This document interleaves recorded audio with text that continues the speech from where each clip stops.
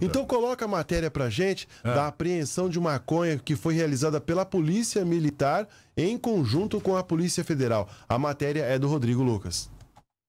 A Polícia Federal de Três Lagoas apreendeu na madrugada desta terça-feira uma grande quantidade de maconha em uma ação conjunta com o canil da Polícia Militar. A apreensão aconteceu no município de Brasilândia durante uma fiscalização de rotina na MS 395. De acordo com informações da polícia, o condutor da caminhonete S10, ele não obedeceu a ordem de parada e fugiu do local.